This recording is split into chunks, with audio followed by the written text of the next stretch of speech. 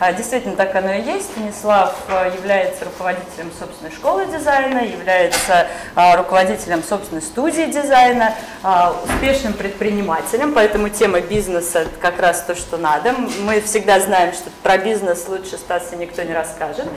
Вместе со Стасом мы как раз делаем эту дизайн-конференцию, уже восьмой раз она будет проходить, поэтому еще раз, как организатор Станислав прекрасный человек. В портфолио достаточно крупные объекты, как а, частные, так и общественные. Из общественных могу назвать такие бренды, как Сбербанк, а, Связной, Аэрофлот, а, Москва-Сити. Сейчас новый терминал строится по их проекту. Ну и частные интерьеры, это дома, коттеджи, таунхаусы и так далее. Всю информацию вы можете о проектах посмотреть на сайте design.ru через дефис.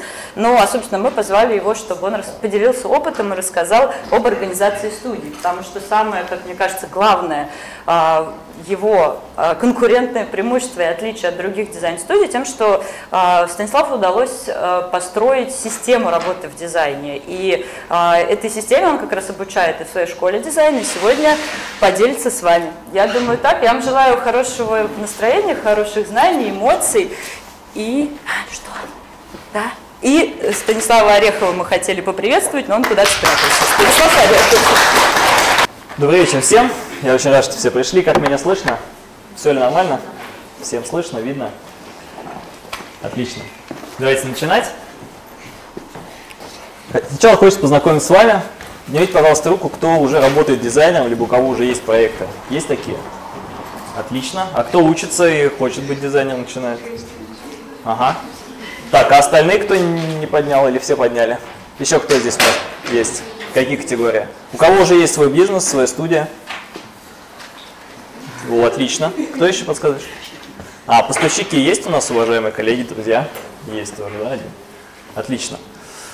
Стандартный вопрос. Кто бы хотел э, организовать студию, работать в команде? Отлично, с места можно. Почему вы хотите сделать? Для чего? Какая цель? Можно ответить. Денег, Денег заработать. Отлично. Еще? А почему именно студия? Почему не самостоятельно?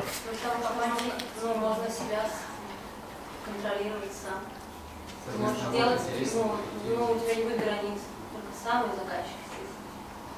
А как студия в этом поможет? Ну, ты, я не знаю, но ты можешь э, учить также людей, э, единомышленников. Угу. В команде, да, получается? Хорошо, еще? Для чего кому студия? М? Помощники. Помощники, чтобы что? А, Отдавать часть работы, да. которая не является ключевой. Совершенно верно, отлично. Еще у кого-то какие-то мысли? Ну, чтобы разбираться самому. Потому что когда ты занимаешься uh-huh. чертежами, 3D, какой-то рутинной работы, которую ты уже прошел, ты, естественно, сам уже не можешь, у тебя uh-huh. нет времени физически а, пускать свои мысли в полет, там, чему-то учиться, куда-то ездить, учиться и так далее. Uh-huh. нужны, нужны руки. То есть освободить время, да, чтобы заниматься именно творчеством, саморазвитием. Угу. Еще какие-то мысли есть? Так, давайте по очереди. Кто? Это что? К чему? А, в команде, да, будет лучше? Точно, отлично. Еще? Кто, где вы? Ага, вижу. Часто клиенты боятся обращаться к частному дизайнеру, а дизайнеру это все-таки ну, зарекомендовавшиеся себя предприятия, и, в общем, не так страшно. Более сложные проекты можно делать, и более требовательные заказчики статусно будут. Отлично, да, супер, молодцы, все отлично называете. Еще есть у кого-то какие-то мысли, мнения по этому поводу? Зачем студия, чем поможет именно вам? А? Это что такое? А, удовольствие именно организации процесса. Организация, да, реализация проекта. Ага, а вы дизайнер? Я, ну, можно сказать. Ага, супер. И нравится именно организовывать, да? да. Отлично. Еще?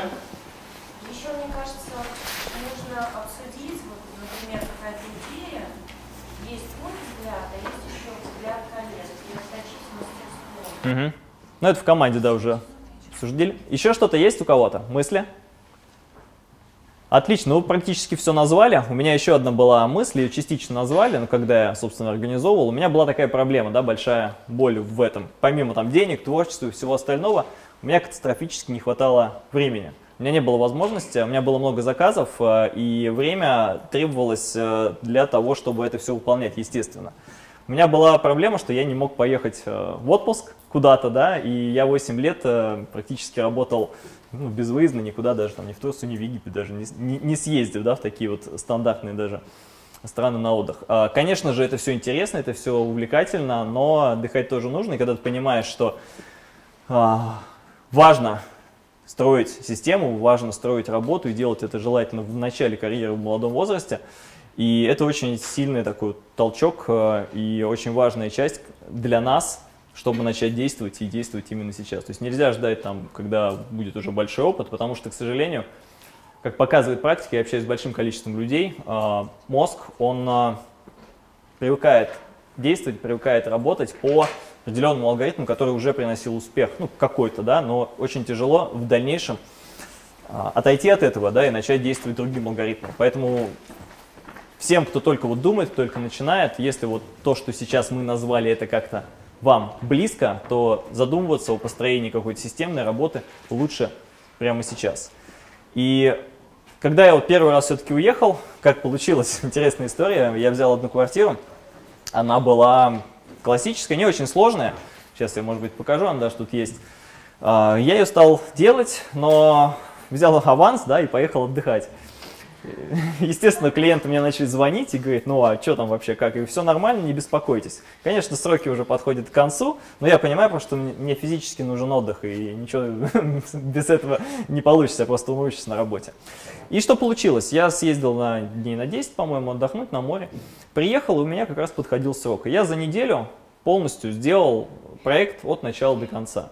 Это очень здорово, очень классно, и э, именно вот отдых, да, оторвавшись от работы, позволяет нам в дальнейшем мобилизировать наши силы и э, получить очень хорошие результаты. Квартиру вам покажу, в принципе, нормально получилось, и клиенты очень-очень довольны. Хотя, конечно, очень сильно переживали. И тогда я понял, что э, мне, конечно, прекрасно отдыхалось, но не очень нравилось, что мне названивали и там, в общем, отвлекали немножко от этого мероприятия. И я понял, что было бы неплохо, если бы кто-то остался и занимался какими-то процессами, там за меня, да, то чтобы э, люди как минимум могли взять телефон, принять комментарии, успокоить клиента, да, сказать, что все нормально, не переживайте, с вашим проектом работают, и э, результат будет там через три недели. То есть результат может быть в то же время, да, но кто-то будет держать под контролем всю эту ситуацию. И это вторая очень важная особенность, да, которую стоит поговорить. Любой руководитель, а, с чего он начинает, с чего должен начинать, это именно поиск помощника на административные какие-то вопросы. Почему это важно? Даже не для того, чтобы в сиюминутно там разгрузиться, да, или вот, как я сейчас рассказал, получить вот такие вот сиюминутные результаты, чтобы кто-то отвечал на телефон. Это очень важно для того, чтобы получить навык делегирования. Навык делегирования, то, что вы называли сейчас, а, именно работа с коллегами, с э, визуализаторами, с моделерами, с чертежниками, он просто так сам по себе не получится. То есть нас учат э, в институте, мы сами учимся э, по книгам там, или еще чему-то, учимся, как работать в дизайне. Но, к сожалению, как делегировать учат других институтах, на других должностей, должностях это управленческие вещи. И очень часто получается так, что у дизайнера нет одновременно способностей и управления, и работы. А так получается, что работа дизайнера, опять же, я сейчас э, не хочу там какие-то э, там рассказывать, вы должны именно так или, не, или по-другому. Я хочу рассказать просто о своем опыте, э, который у меня был и к чему я пришел сейчас. Я этого не знал в самом начале. То есть работа дизайнера, она, наверное, на 50% где-то состоит только из творчества. Вторые 50% это управление и это умение защитить свою работу, умение договориться с заказчиком, умение сдать ее, умение не принимать комментарии, либо принимать комментарии, но не все, умение последовательно вести проект и так далее. Много таких дополнительных качеств, которыми мы либо мы не обладаем, либо нас не учат э, в стандартном институте по дизайну. И это правильно на самом деле, то есть если мы пришли обучаться какой-то профессии, вот у нас, допустим, есть полугодовой курс по дизайну, я там специально говорю, ребята, я вот именно на этом курсе мы не будем проходить ни управление, ни делегирование, ни создание студии, вот этого всего не будет, потому что один навык в единицу времени. Но это не значит, что этого не должно быть. Поэтому, если там, вы учитесь или читаете какие-то книжки по дизайну, читайте и учитесь также дополнительно обязательно и управлению. И лучше не читать даже просто, а именно взять там помощника. Можно начать не обязательно с каких-то сложных задач. Начать можно с самых базовых э, управленческих задач э, не по проекту, да, а какие-то вот э, личного помощника, да, можно так сказать.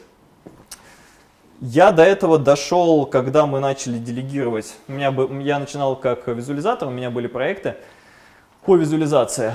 И моей ключевой способностью было умение рисовать хорошие картинки, хорошие визуализации. Сейчас мы их посмотрим. И очень много времени тратится, наверное, 50 или даже более процентов, как я сказал, именно на то, чтобы принять комментарий, расписать, отдать моделеру и пересогласовать. И первое, что я сделал, я считаю, что это очень правильное решение было – это я взял помощника, как помощника, да, это был просто мой друг, с которым мы там с детства еще со школы учились. Он ничего точно так же не знал ни о управлении, ни о делегировании, ни о дизайне вообще, в принципе, как и я. И просто мы договорились, что я буду рисовать картинки, я умел это делать в 3D Max и Photoshop, а он будет общаться по телефону с клиентом и согласовывать то, что нужно делать по почте и пересылать эти же данные нашим помощникам-моделерам, потому что визуализация как вы, надеюсь, знаете, состоит из самой картинки и из моделей, которые должен делать моделер. Ну, собственно, так мы и начали. И в этот момент, э, когда у нас э, наладилась эта работа, получилось так, что я тратил примерно 20% времени на самое творчество, вот как вы говорите, да, развиваться, и в плане именно своего развития, своего творчества. И у меня освободилось время на то, чтобы либо лучше учиться рисовать, да, именно в творчестве, разрабатывать дизайн, а, либо организовывать, дальше усиливать, организовывать именно бизнес-составляющую. Ну, к сожалению, может быть, а может быть и нет, потому что каждому человеку нужно свое, то есть если кому-то нужен постоянный прогресс, постоянное развитие, здесь мы должны это в себе, естественно, отточить. А, у меня это есть, мне хочется все время делать что-то новое, что-то интересное, что-то больше, больше и дальше развиваться. У некоторых людей, и с этим мы тоже столкнемся абсолютно точно, такой потребности нет. Это тоже неплохо, это нормально. То есть большинству, в большинстве людей нет никакой потребности в, в риске, в том, в том, чтобы отвечать за что-то, да, помимо своих вот там каких-то обязательств, и то в рамках определенной там финансовой составляющей и никак иначе. То есть не у всех людей есть потребность двигаться дальше, и многих устраивает текущее положение дел. И это тоже нормально, с такими людьми тоже мы будем работать. И нам нужно в том числе с ними взаимодействовать. Для этого э, у нас есть там инструменты мотивирования, естественно, мы сейчас об этом поговорить не сможем, но это тоже очень важно. Но еще очень важно то, что мы, когда мы настраиваем систему, работаем, собираем себе сотрудников-помощников, нам важно, чтобы э, были люди, которые помогают нам в рутинных операциях. И они будут получать меньше денег, а мы будем получать больше. Так получилось у меня. Я тратил 20% времени, получал 80% денег. А мой помощник, соответственно, наоборот, тратил 80% времени именно на эту работу, получал 20% денег. Тут я смекнул, что это можно дальше и дальше и дальше развивать. Но это был первый как бы этап, да, на самом деле это немножечко ошибочное такое мнение, то есть это первый такой опыт, скажем, будущего капиталиста от дизайна, да, то есть, казалось бы, сейчас я наберу много людей, да, и мы будем рисовать, буду все деньги как Карабас-Барабас получать, да, а все будут а, мне служить и а, получать мало, а я буду получать много, ручки потираю. На самом деле эта схема не очень хорошо работает, да, к чему я пришел дальше. А, она работает на начальном этапе только для того, чтобы мы с вами, ну или вы, получили именно навык делегирования, вот этот первый. Дальше, естественно, нужно включаться в мотивацию. Самое важное – вот как у нас сейчас работает студия и как мы сейчас работаем со всеми практически нашими коллегами. Самая главная задача сделать так, чтобы человек, работая с нами, получал не только деньги, а, но и больше. Он должен получать моральное удовольствие в том, что он делает. Моральное удовольствие он будет получать вот из-за тех всех навыков, которые вы сейчас сами назвали. То есть это работать с интересными проектами, участвовать в команде, то есть в общности делать что-то больше, чем он сам, это, ну, естественно, зарплата достойная должна быть. Это признание, что вот его ценят. Это желание и возможность развиваться. В нашей команде. Ну и другие вещи, мы их сейчас все назвали, если вы их записали, либо запомнили, то есть все то же самое. И наша задача, когда мы строим студию, самая главная глобальная задача, когда, когда мы строим коллектив, это очень сложная задача, к ней э, сложно на самом деле ну, догадаться и, и, и прийти к ней. У меня это не сразу получилось, я истратил ну, почти 10 лет, чтобы вообще это понять и к этому прийти. Это построить такую систему, которая не просто качает деньги, не просто конвейер, а в которой каждый специалист может э, развить себя в той области, которая является его ключевой компетенцией. Все мы с вами разные, и у кого-то творческая способности, очень хорошо развитая творческая составляющая, у кого-то организационная, ну вот как вы говорите, да, что вот интересно развивать организационную часть, у кого-то развиты чертежи, то есть человек э, идеально там чертит, он, ему, он получает истинное удовольствие от этого процесса и от результата, он развивается в этой теме. Кто-то визуализатор от Бога, ну и так далее. И наша задача поймать этих людей – поймать в плане дать им то, что они хотят. Именно поэтому, когда вот это все, все я понял, это следующий был этап, скажем так, вот завершающий на текущий момент, к чему мы пришли, это к стандартизации профессии дизайнера. Мы разработали 10 э, разных этап, не этапов, а функций, которые выполняет дизайнер на дизайн-проекте. Эти функции 5 управленческих и 5 э, рабочих, да, то есть когда мы выполняем. Кто-то знаком с темой стандарт профессии? Есть кто-то, нет? Если кто-то не знаком, а вот один да, человек, обязательно ознакомьтесь, у нас на сайте есть именно описание, я пришлю потом ссылочку а, сегодняшним участникам, вы сможете более подробно там в деталях посмотреть все те вещи, о которых я сейчас говорю. В чем самая главная суть? Мы делим составляющие дизайнера на э, части. Давайте с вами тоже поработаем. Из чего состоит работа дизайнера? Вот какие 10, как вы думаете, давайте попробуем их назвать, 10 э, основных ролей дизайнера на проекте. Как вы думаете? Проектирование. Проектирование, что это такое? Кто, кто говорит? Я. Ага, проектирование, это что? Ну, это когда ты визуально представляешь, как будет в итоге объект сделан. То есть перетенки, перегородки. Угу. Создание дизайна. Да, это работа дизайнера. А, первый, да, давайте назовем, это дизайнер. Тот, кто, собственно, придумывает дизайн. Его задача состоит из а, того, что он придумывает планировку, из а, геометрии, то есть как это будет выглядеть, и из подбора мебели и материалов, которые у нас будут на проекте. Это вот дизайнер, правильно? Еще какие есть? Что? Общение с заказчиком. Общение с заказчиком, отлично. Кто общение с заказчиком осуществляет у нас Ведущий дизайнер. Его отличие от дизайнера то, что он э, держит в голове весь проект полностью от начала до конца. У него есть все навыки, которые есть у дизайнера, которые мы только что сейчас сказали. Плюс у него совершенно точно добавляется еще один инструмент, это работа с заказчиком. И у него появляется ответственность. Он ответственен за проект. То есть, если проект получится, он молодец, получает бонусы и все остальное. Если не получится, соответственно, у него проблема, он виноват. Ведущий дизайнер. Второй назвали. Еще. Но смелее. Визуализация, абсолютно точно, конечно. Визуализатор, это что делает визуализатор?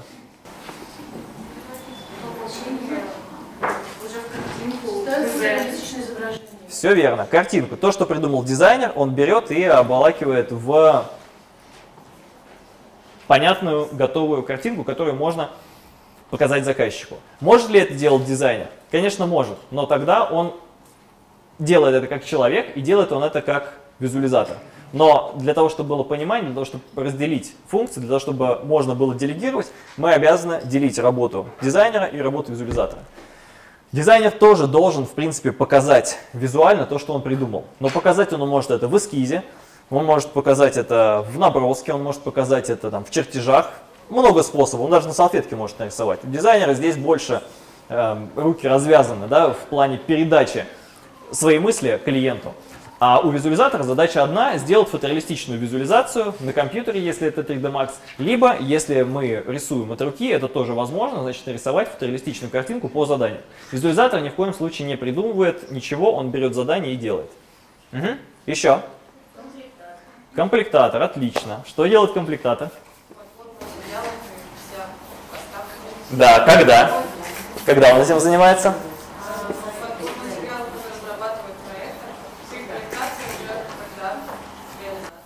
Смотрите, подбор материалов на проекте – это задача дизайнера. Дизайнер подбирает, дизайнер рисует, дизайнер придумывает. Компле- Комплектатор занимается подбором уже непосредственно покупкой и подбором по проекту материалов и привозит их на объект, сдает строителям, в общем, занимается уже конкретной реализацией. Работа дизайнера у нас заключается в том, чтобы придумать и воплотить. То есть нельзя просто придумать, это будет ну, просто картинка, да, можно сказать, эскизный проект. Если мы говорим о реализации, то вот там нам уже понадобится именно комплектатор. Плюс комплектатор еще один есть, комплектатор студии так называемый, но он не входит сюда, но комплектатор студии тоже есть. Это человек, если у вас ну, есть помощник, да, вы можете помощнику попросить под ваш стиль, под ваши задачи подобрать уважаемых э, коллег, поставщиков, подрядчиков. Да, вот если мы работаем с классическим стилем, к примеру, вот Декарт можно использовать для того, чтобы э, дизайнеры знали, как, э, какие элементы приобретать и какие использовать.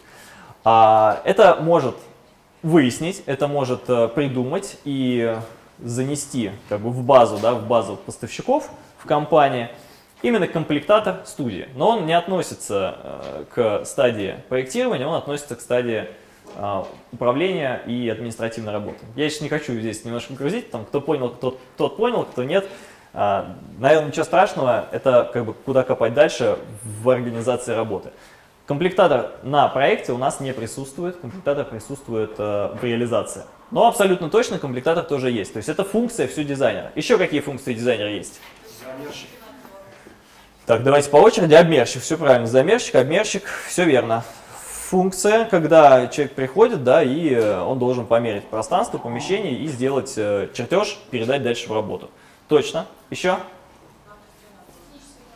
Давайте авторский надзор. Это, э, не, это не функция отдельная, это ну, этап, да, этап работы. Авторский надзор осуществляет ведущий дизайнер. То есть это его функция помимо создания проекта, да, идеи проекта, его функция еще и э, создание, ну, дальше доведения его до результата. То есть он является как бы контролирующим органом, когда проект реализуется. Еще какие есть? Обмерщик, вот еще один, какой наш, пятый, наверное. Кто считает, сколько у нас уже названо? Пять? Шестой, еще кто есть? Еще пять. Давайте думать. Чертежник, правильно. Нет, это не он же, как вы сказали, он же визуализатор? Ну, есть, которые, которые рисуют и чертят, разрешаемая Это отдельно. Все обязательно нужно отдельно. Неважно, если даже человек и рисует, и чертит, и придумывает, и обмеряет, эта функция мы должны именно делить. Ключевая вообще способность э, руководителя именно разделить эти все части. И если у нас э, в людях мы нашли какого-то классного человека, который делает вообще все от начала до конца. А, И э, мы уже можем его взять на работу и спокойненько с ним работать, просто в нем будут совмещены все функции. Если у нас такого человека нет, мы можем взять двоих, троих, пятерых, шестерых, десятерых, то есть мы можем их объединить, либо если у нас проектов много. В этом самая суть, в этом самая соль. Мы сейчас здесь как бы это вот прорабатываем для того, чтобы мы запомнили, для того, чтобы дальше, если будете организовывать студию, вы искали себе помощников. Не просто мне нужен помощник какой-то, который будет делать все и ничего, и ничего хорошо, а чтобы замещали какую-то конкретную необходимую функцию. Еще? Инженер.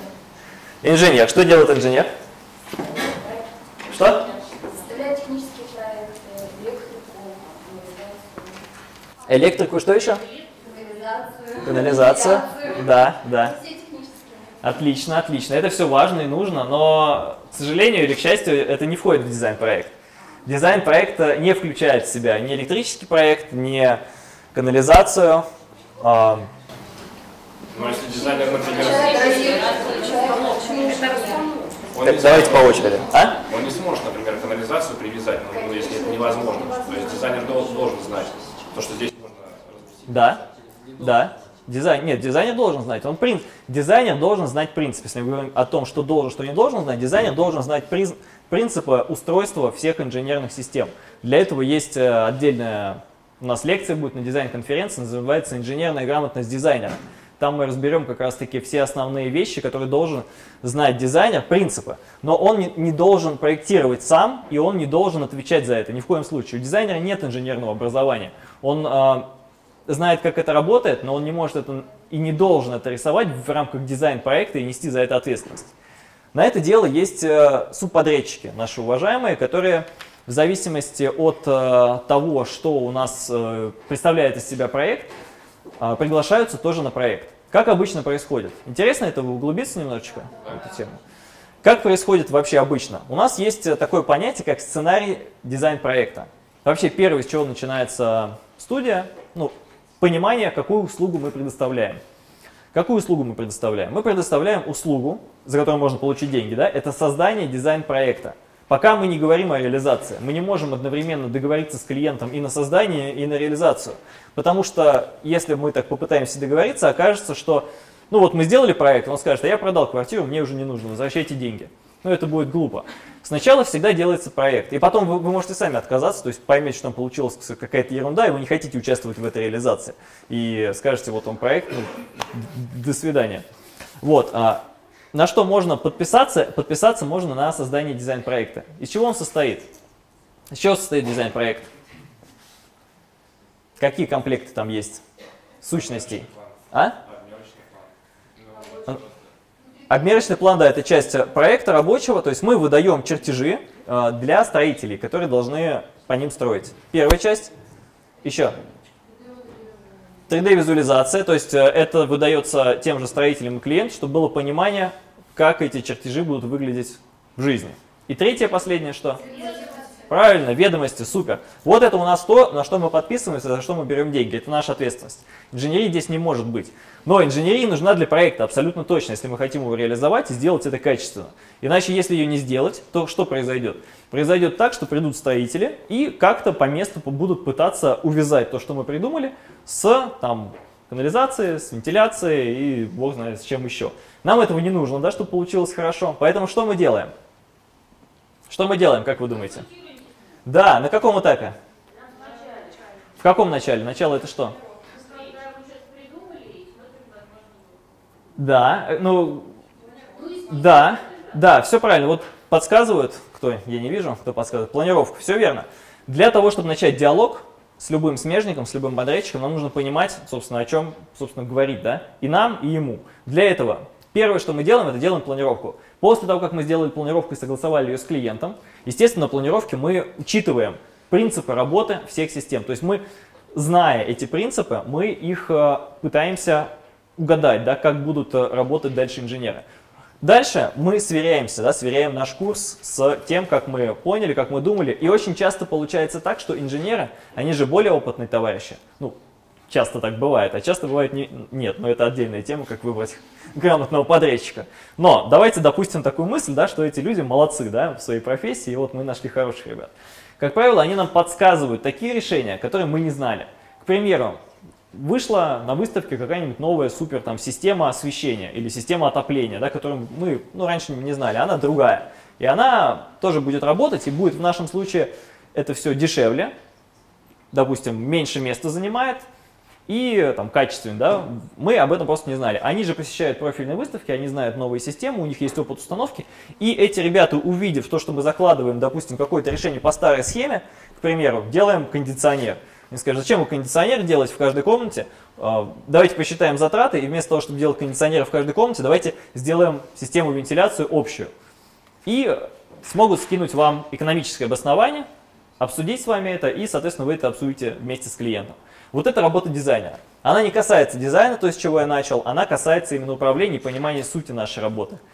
Чем больше мы выступаем в роли именно такого консультанта, который понимает и знает, как это будет делаться дальше, тем больше, соответственно, у клиента уважения к нам, тем больше он нам доверяет, и, соответственно, тем больше он доказывает, дока заказывает, заказывает, заказывает. И в итоге может получиться так, что если даже сначала он нам не доверял по каким-то причинам, в начале работы, да, когда приходит, выбирает разных дизайнеров, спрашивает, почему я вас именно должен выбрать, ну и так далее, да, стандартная история. Дальше в процессе работы, как только он видит, что вы заботитесь о нем, что вы даете ему разные рекомендации, что вы даете их ну, не просто так, а вы действительно консультируетесь, вы действительно пытаетесь найти наиболее изящное решение этого вопроса, дальше наша задача что сделать? Чтобы к концу проекта клиент нам доверил реализацию. Потому что реализации на комплектации кроются основные деньги. И вся наша работа, вся наша история заканчивает, вернее, начинается да, в начале, но заканчивается, когда мы переходим на реализацию, это считается наш успех. То есть, по сути, для нас дизайн-проект, который мы делаем, это предварительная часть, на которой мы получаем там зарплату, а заработок у нас идет дальше. Если говорить о студии, то, в принципе, когда мы работаем несколько человек, невозможно заработать только на дизайн-проектах. Это будет заработок только на зарплату. То есть это стандартные там, по Москве или по любому другому городу будут те деньги, которые мы бы получали там работая на работе. Ну, может быть плюс небольшой, там плюс э, в полтора раза именно за счет того, что может быть мы еще и привлекаем клиентов, за счет этого у нас немножечко увеличится эта стоимость. Но дальше, если мы хотим работать, если мы хотим развиваться, если мы хотим реализованных проектов, нам обязательно нужно выходить на комплектацию и на авторский надзор. Ну что, еще функции? Какие есть? Давайте, давайте, мозги. Расскажу, сейчас функции добьем. Менеджер, кто сказал? Молодец, точно, супер. Что делает менеджер проекта? По какой теме? Да, да, да. Менеджер э, общается с клиентом по административной части. У нас два человека, ну или две функции, давайте назовем вещи своими именами, э, занимается тем, что общается с клиентом. Первое, это команда, да, вот боевая команда, два человека, которые могут реализовать проект. Это менеджер плюс ведущий дизайнер. Ведущий дизайнер защищает решение, рассказывает, почему планировка или почему подобраны именно такие материалы, а менеджер говорит, когда нужно внести следующую оплату, считает просрочку, если они есть вдруг по каким-то причинам, считает, сколько времени мы истратили на проект и когда вносить следующий аванс. То есть он занимается именно этой частью. Это очень важная часть, вот тоже очень хочется на нее обратить внимание. По сути, менеджер – это помощник ведущего дизайнера, то, с чего я тоже начинал. Ведущий дизайнер с менеджером очень хорошо работает. Почему? Потому что когда ты придумываешь что-то, проектируешь, у тебя работает одна часть мозга, то есть ты работаешь именно с творчеством. Очень сложно переключаться. Если ты начинаешь переключаться, то есть я хорошо работаю и в плане менеджера, и в плане дизайнера. То есть у меня и то, и то может быть, но не одновременно ни в коем случае. То есть лучше делить это на дни, ну если вы пока без помощников, а, ну, либо там до обеда вы дизайнер, да, после обеда вы менеджер. Вот именно так. Но невозможно что-то сидеть придумывать красивое, а потом вам звонит э, клиент, и ты начинаешь на калькуляции считать, э, что-то, ну, сколько это будет стоить, или начинать общаться с поставщиками. В итоге получается ни первое, ни второе действие не будет сделано хорошо. Менеджер это очень очень-очень классная функция, которая позволяет высвободить творческий потенциал э, дизайнера. И когда мы это все понимаем, мы понимаем, что вот эта система позволяет нам именно дизайнеру занимается дизайном творить, менеджеру кайфовать от того, что у него цифрики сходятся в бухгалтерии, и то, что вместе мы ведем проект вместе, ну, в соответствии с теми финансовыми показателями, которые мы для себя ставим. У менеджера есть э, договор, он понимает, сколько у нас по экономике должно сойтись, э, когда мы в минус уходим, когда мы в плюс уходим. В общем, это, он все за этим следит. Очень важная функция, без нее практически нереально работать дизайнером. Либо, если вы работаете самостоятельно, то так или иначе все равно менеджер у вас есть, только он сидит в голове и выжирает просто, отъедает очень много ресурсов, которые можно и нужно на самом деле направлять на творческое развитие. Поэтому первое, с чего начать, это помощник в виде менеджера. Отлично. Сколько назвали? 6, 7? Еще? Еще три. Пиарщик? Хорошая должность, да, только она находится в э, привлечении клиентов. То есть у нас есть разделы. Есть административный, есть привлечение клиентов и есть производство. Сейчас мы говорим только про производство. Поэтому пиарщик это, конечно, нужная часть, но в привлечении клиентов. Давайте про производство. Еще кто в производстве у нас? А? Чертежник был. М? Это уже строительный бизнес, да. Э, это отдельно, да, это отдельно. Сейчас мы только про проект говорим. Смотрите, давайте еще не буду томить. Три еще у нас функции осталось.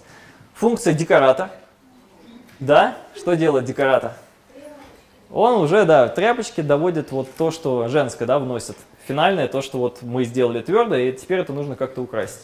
Декораторство можно делать, а можно и не делать. То есть тут уже по желанию. Мы, допустим, не делаем, у нас нет декораторов в студии, мы этим не занимаемся. Многие ребята, многие студии на этом ставят наоборот упор. это особенность нашей работы. Тоже хочу обратить ваше внимание на то, что нет правильного способа делать дизайн. Так же, как и нет правильного способа, ну там, не знаю, рисовать, творить, существовать. Каждый живет как хочет. Также в дизайне к результату можно прийти совершенно разными способами. Можно рисовать 3D, а потом по 3D подбирать мебель в магазине, можно сначала пойти в магазин подобрать мебель, а потом к этой мебели придумать дизайн. Это здесь вы и мы вольны работать как угодно. Это все записывается в э, тему, которая называется А, Сценарий дизайн проекта, вот о котором я говорил. Сценарий дизайн проекта строится на основе договора, то есть они в принципе совмещены. И договор и сценарий проекта презентуются как э, идея вашему клиенту для того, чтобы он выбрал именно вас. Клиент приходит, говорит, вот как мы будем работать. И мы говорим, первое вот это, второе вот это, третье вот это. И здесь мы должны обосновать, почему именно так нам удобно, да, и почему нашим клиентам так может быть удобно. И клиент уже будет выбирать, по сути, если вот все дизайнеры работают хорошо, да, если мы говорим о том, что все профессионалы, хотя это тоже, конечно же, не так, ну, допустим, да, что все дизайнеры одинаково молодцы. Клиент будет выбирать уже более э, комфортный для него способ, более, как вот ему кажется, что ему, что ему кажется более важным в дизайне и в создании там атмосферы. Для кого-то это конструктивизм, минимализм, чтобы все было функционально, чтобы все было четко и спокойно, а для кого-то вот тряпочки, рюшечки, и вот чтобы все было уютно.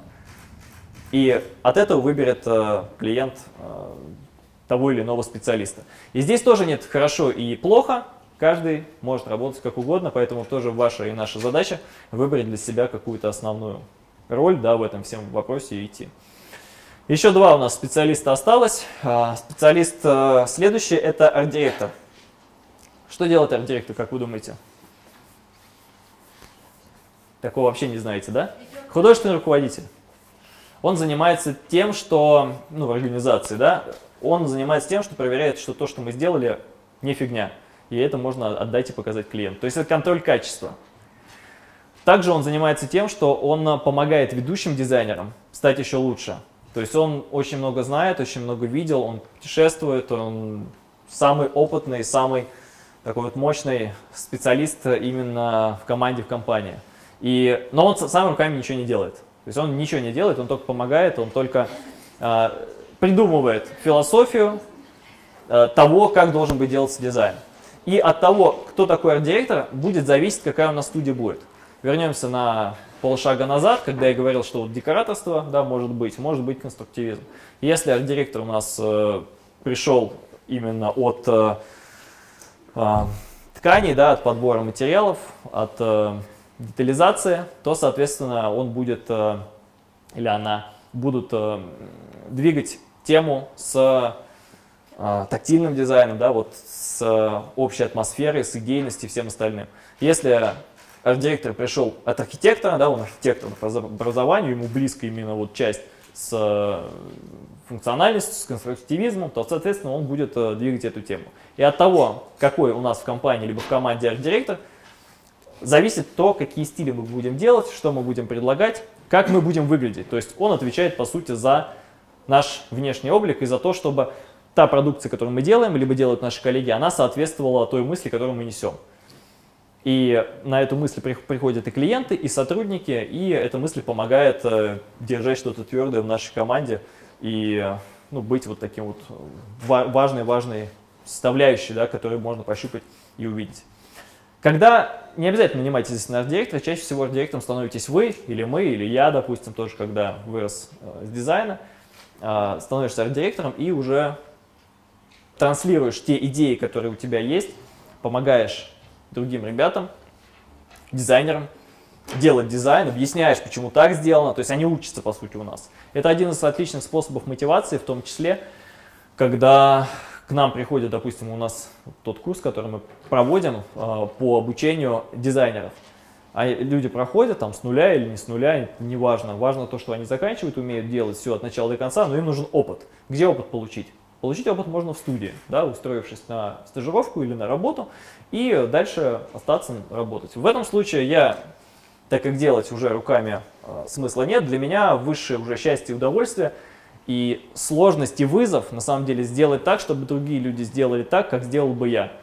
И желательно, чтобы это было без э, каких-то указаний, а именно вот запустить вот эту мысль так в голову человека, чтобы у него это рождалось, и у него получался тоже очень хороший продукт, и он испытывал от этого настоящее удовольствие. Вот для меня вот это уже вызов.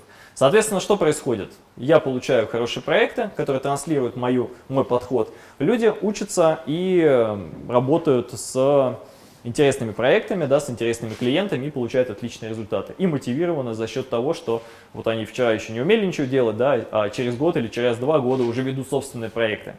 Это очень вдохновляет. Так, должность арт-директора. И последний это руководитель. Руководитель э, студии, десятая часть, в принципе, он очень-очень мало участвует в рабочем процессе, если мы говорим сейчас о рабочем, а не административном процессе. Но он участвует все-таки на стадии подписания договора да, и на стадии назначения арт-директора на должность.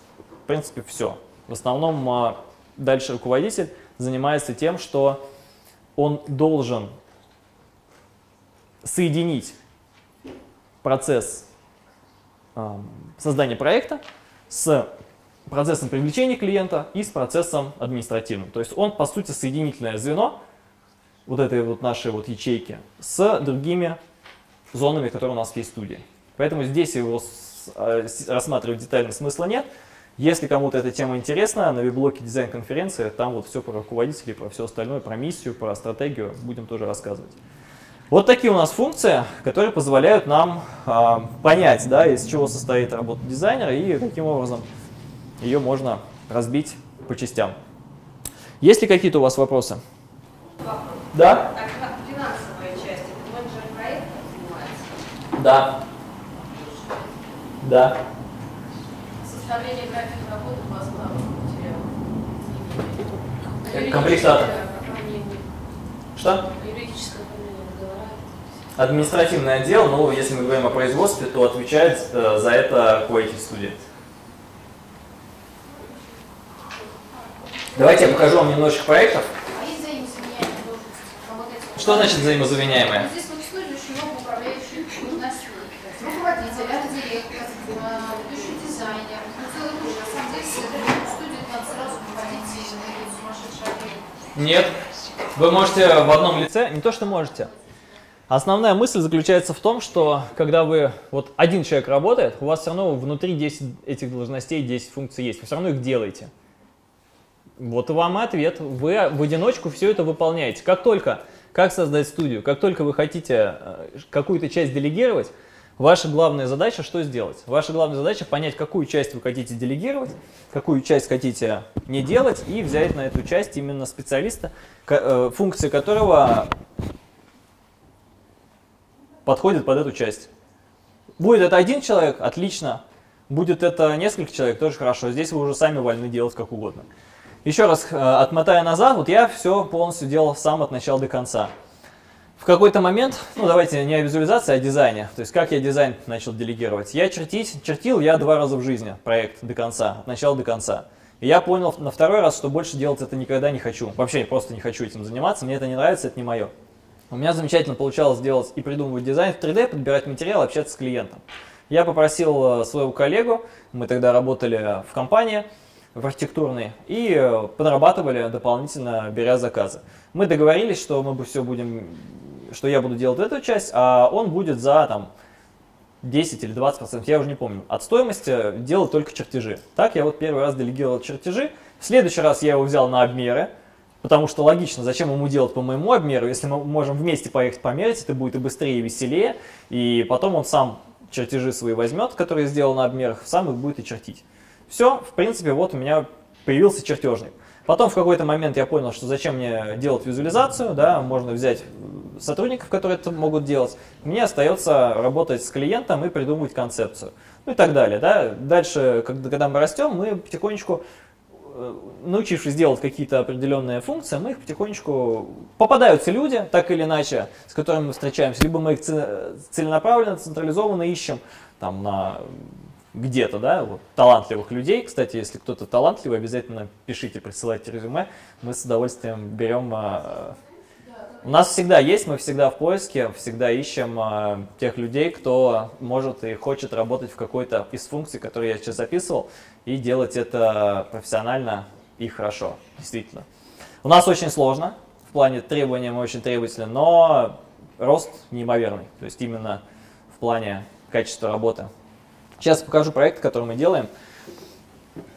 Посмотрите, увидите. Так, ну, что мы делаем? Давайте. Вот этого уже нет. Этого тоже уже нет. Мы сделаем реконструкцию. Скоро будет у нас обновление.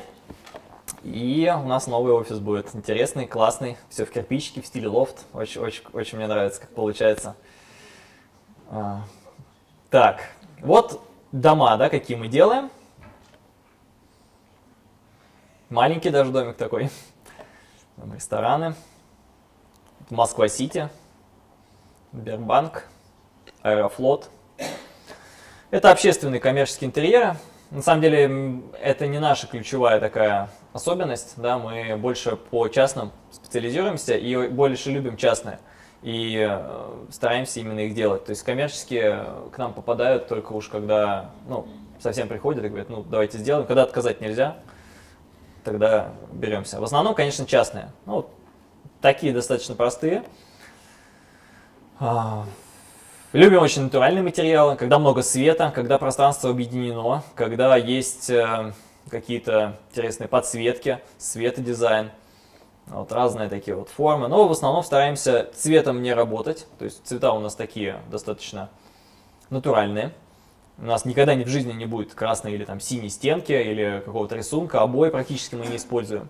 Сейчас я вам, кстати, рассказываю, вот, собственно, нашу философию, да, то есть как арт-директор я говорю, говорю, что использовать, а что не использовать. Ну не то, что говорю, я это показываю, транслирую в наших работах, это видят наши клиенты, и это видят наши будущие сотрудники, и вот кому близки, так, близок такой подход, такой стиль, э, приходят, а кому близок э, подход и стиль с яркими красками, цветами и Э, там, бантиками рюшечками, отлично тоже, но они идут в другую студию, это тоже хорошо. То есть именно разделение такое, оно очень важно.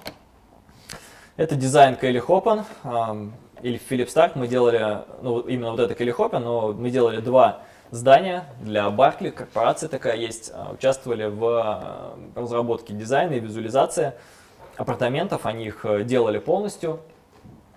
Сейчас такая тенденция, если вы еще не знали, дальше это будет развиваться, когда девелоперы делают полностью под ключ а, с отделкой, приглашают дизайнеров и э, продают квартиры не в стадии бетона, а уже готовые. Правда, это ну, ну бизнес-класс в основном, эконом. А?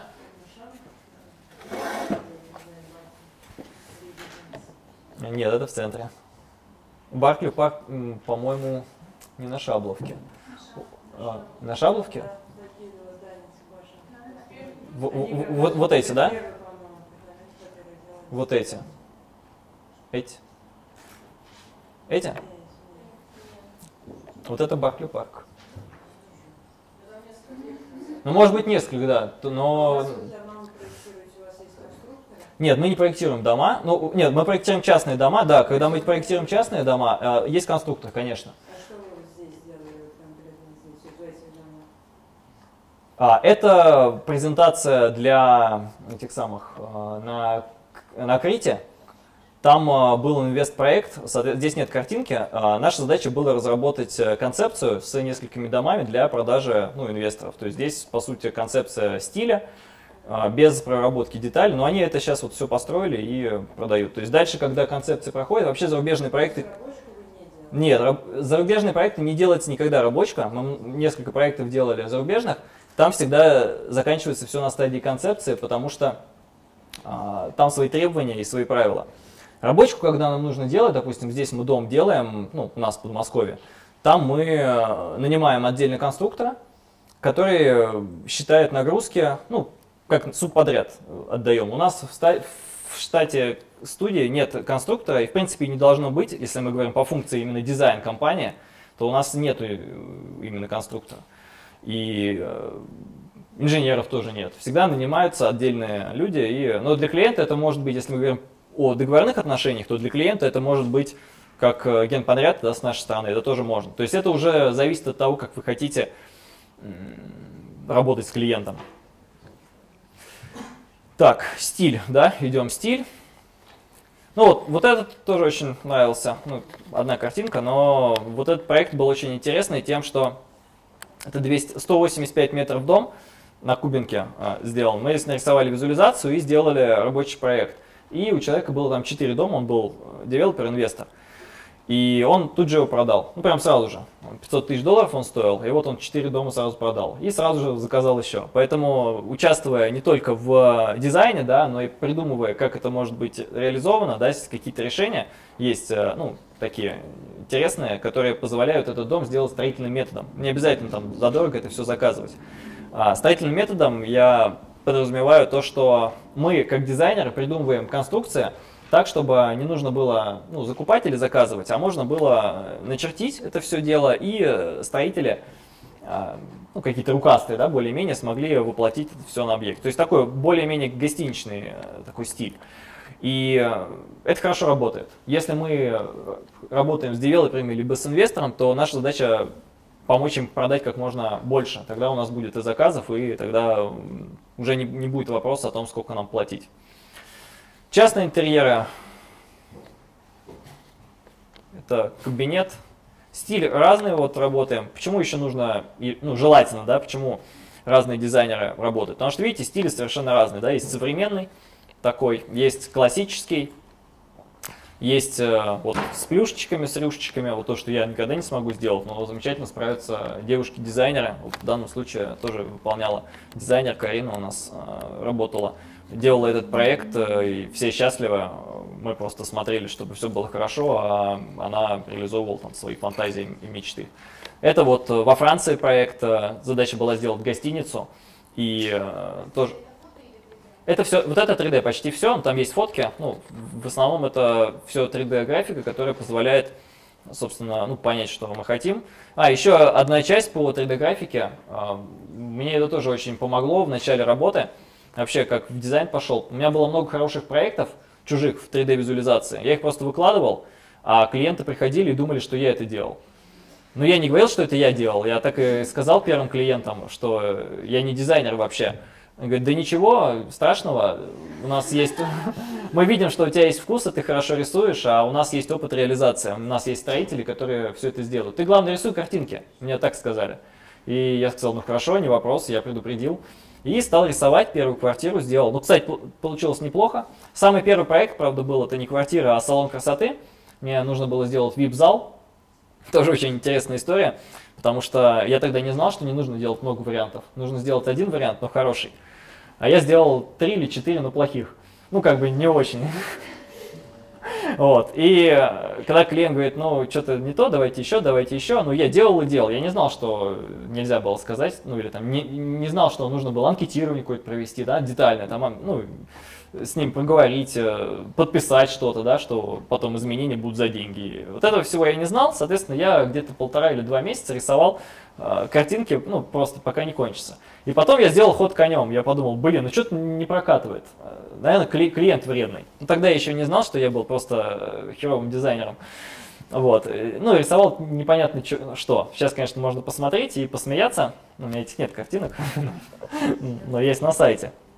Я открыл интернет-журнал, думаю, дай-ка я посмотрю, как вообще люди делают. Открыл журнал и просто скопировал там чужую работу из салона. Четвертый вариант у меня получился, потому что меня уже замучили. И он прокатил, ну то есть нормально. Все построили, все классно, все воплотили, и потом мне как-то звонит, говорит, слушай, а вот э, я в журнале тоже в каком-то листал, и почему-то так же получилось, очень похоже. Вот, говорю, ну да, бывает. А, ну и ничего, так посмеялись. В принципе, он работает, по-моему, это салон красоты на улице Верни до сих пор. По-моему, там вот уже, не знаю, лет 15 или 10. Давно это было очень.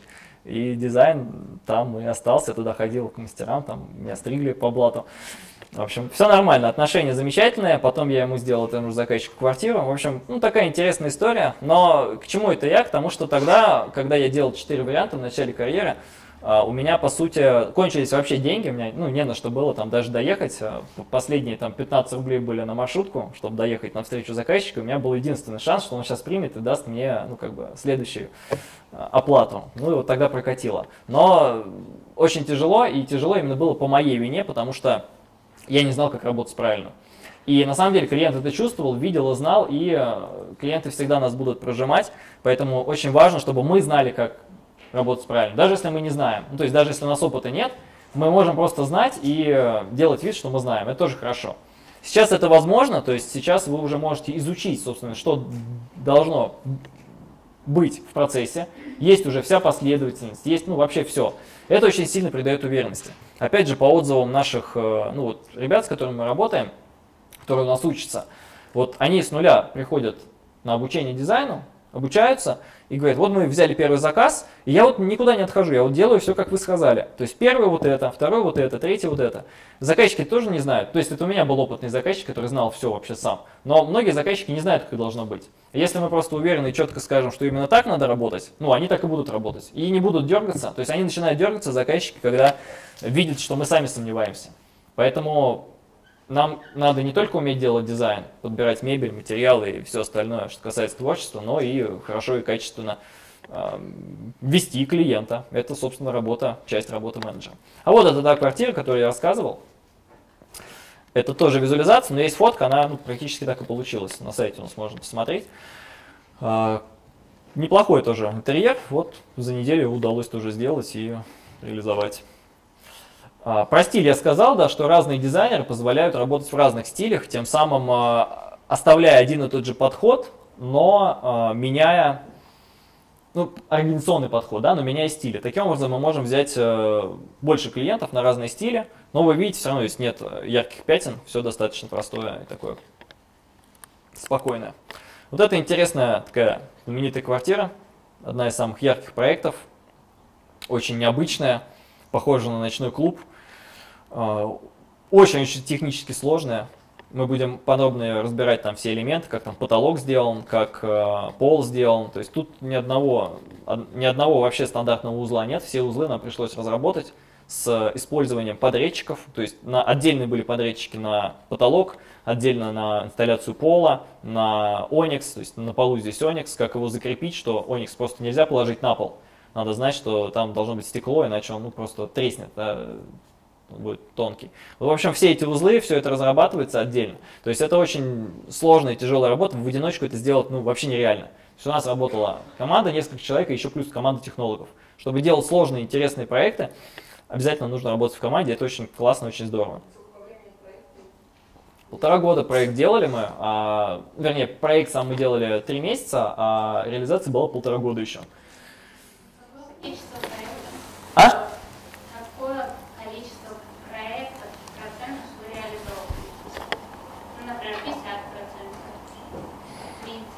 Наверное, наверное, где-то 50. Да.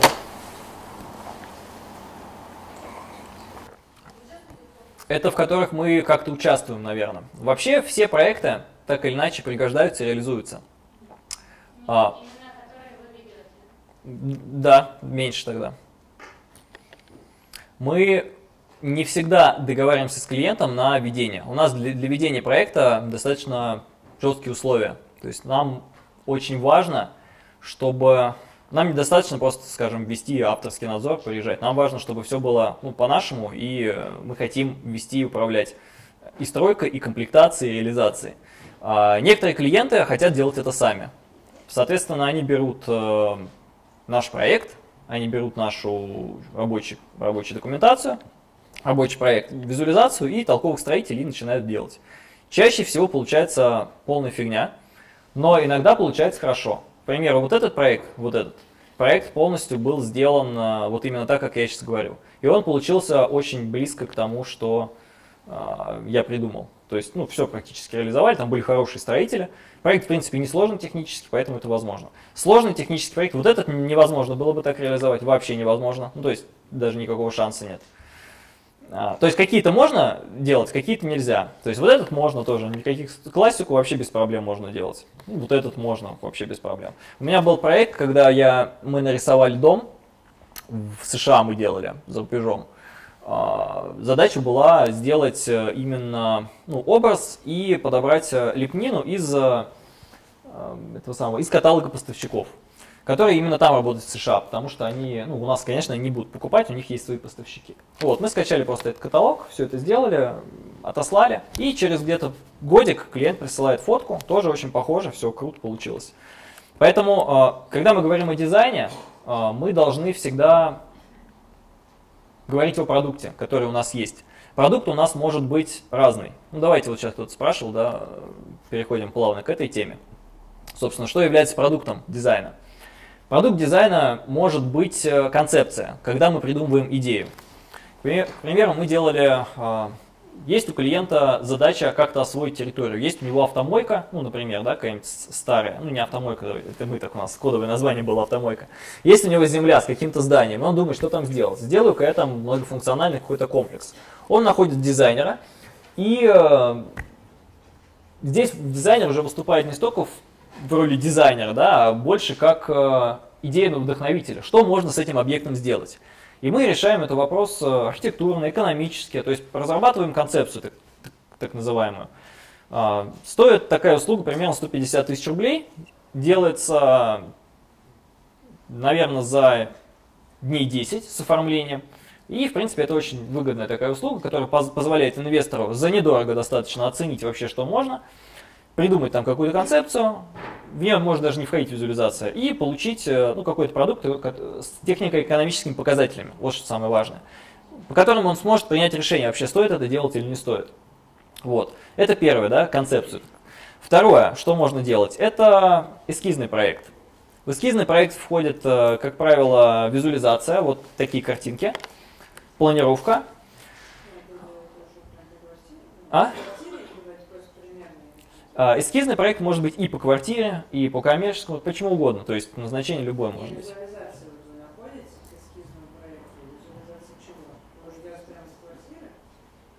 Ну да, квартира.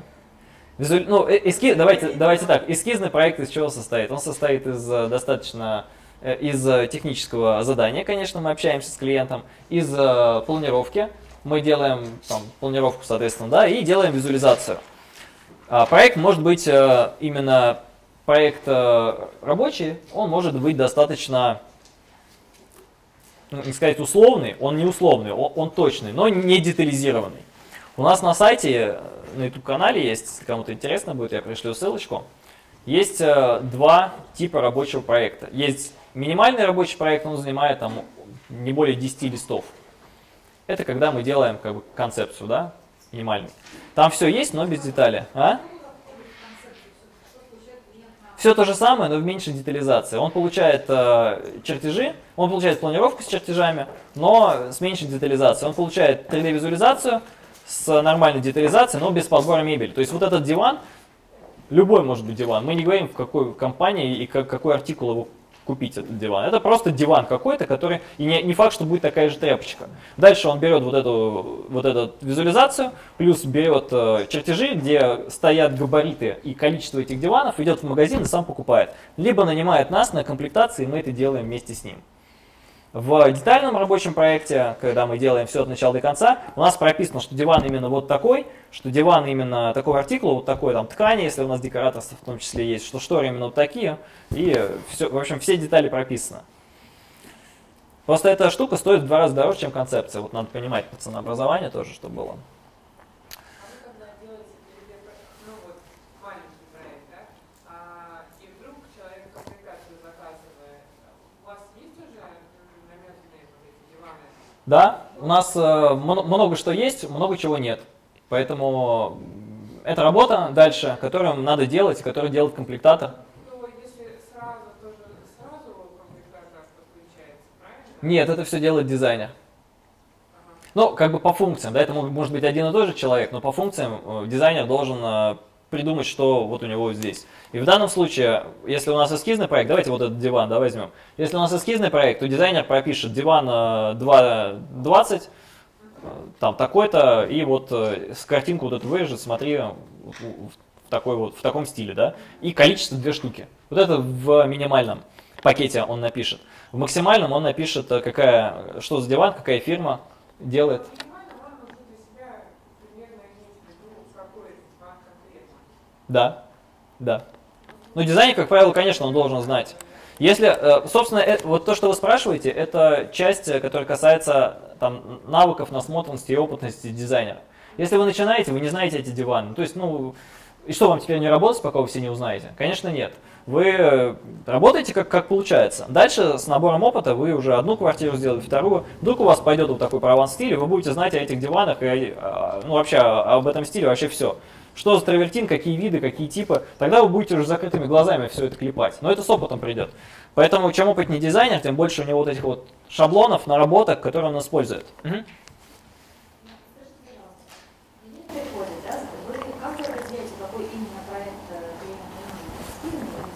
Спрашиваем. Вы спрашиваете, допустим, на этапе, нет, это логично, да, спасибо, но, допустим, на этапе я говорю, да, что мне нужен, я еще не знаю, буду ли я у вас делать Мгм. То есть будете ли вы его вести, будете ли вы авторским надзором Да. выступать. То получается тогда для меня, я хочу сказать, да, что для меня достаточно будет эскизного проекта, и потом уже мы как, ну, Ну да, отлично. Для нас тоже будет достаточно эскизный проект, ну выгодней. То есть выгодно сделать, вот примерно отдать, а дальше... На самом деле, э, это может, дальше может все поменяться. Вообще, я сторонник больше эскизных проектов, потому что они быстрее делаются, а дорабатывать лучше и желательно на комплектации, на реализации. То есть, в принципе, можно начать, допустим, с эскизного проекта, а потом в случае, если в процессе работы ну, Да. дружились и так далее, да, и начали понимать друг друга, то тогда уже там в процессе можно заказать детальный проект.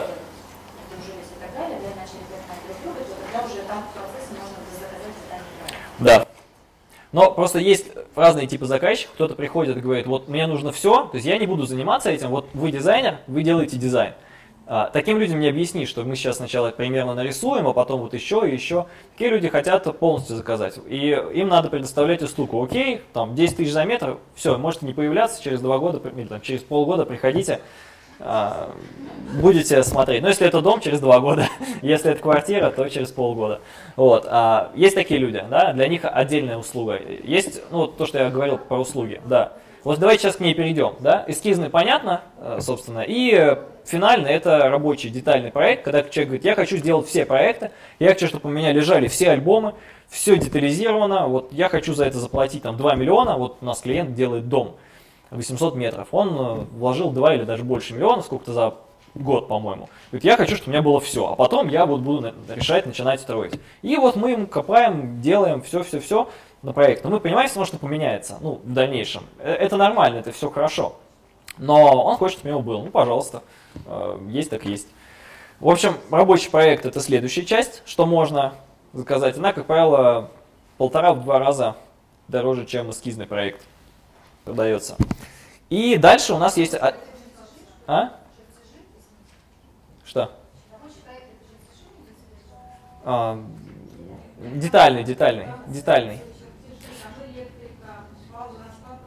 Электрика в любом случае есть, раскладки пола в любом случае есть, потолка есть. Просто в эскизном проекте у нас а, а, форма дана по потолку профиля, там, допустим, карниза, но не указано какой именно. А в детальном прям профиль прочерчен.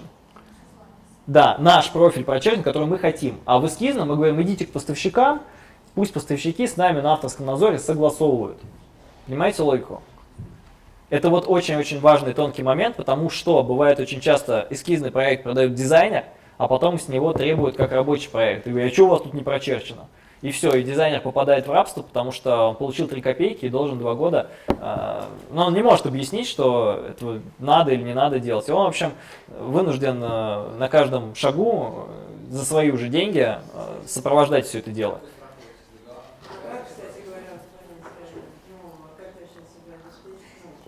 Давайте по очереди, да. Значит, как, что страхуемся? Объясняем, что входит и договор. В договоре должно быть ясно написано, что мы делаем. Ни за что отвечаем. Состав работы. А? Что не нужно? Ну а как вы тогда будете работать без договора?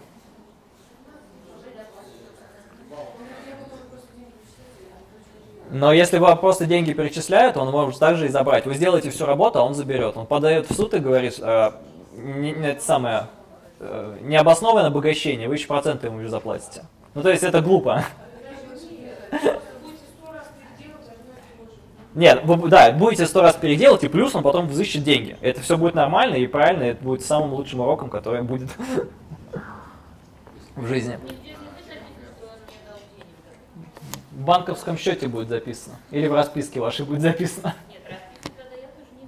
Ну, а как, вы просто... Тогда вы можете ничего им не давать, все получили, приняли.